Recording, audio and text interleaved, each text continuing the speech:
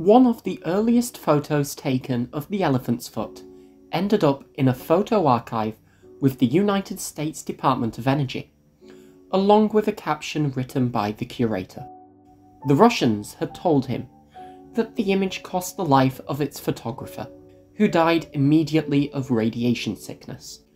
Since then, this apocryphal tale has circled the English speaking internet many times over, along with other fables to the effect that the corium mass is somehow still melting through the concrete in the plant's basement, despite being located 6 metres above ground level while crumbling to dust.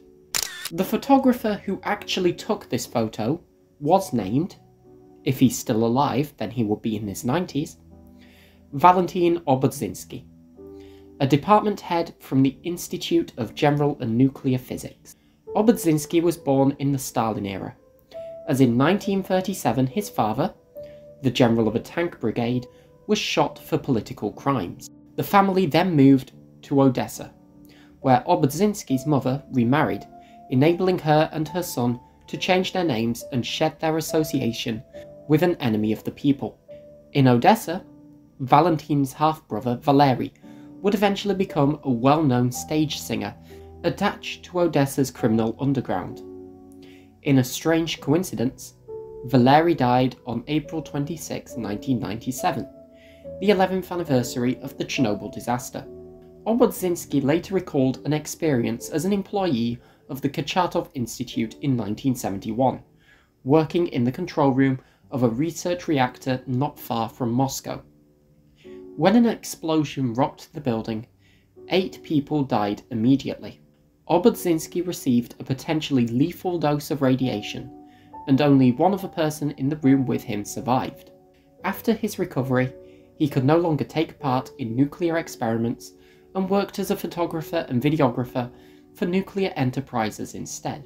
When the Chernobyl reactor exploded, Obodzinski was formally forbidden from taking part in liquidation efforts due to the high dose he had already received. Despite this, he spent three month long tours at Chernobyl between April 1986 and 1993, which included numerous flights to photograph the reactor from a helicopter. After taking the first photograph of the elephant's foot upon its discovery in December 1986, Obodzinski's colleagues forbade him from making a return trip to capture colour photos and sent him home to Moscow. He would eventually suffer from arrhythmia and blood vessel problems in his legs, likely the result of high doses from walking around in contaminated corridors. After several operations, his condition required the amputation of his right leg. Russian President Boris Yeltsin later awarded Obodzinski with the Order for Bravery for his work in nuclear science.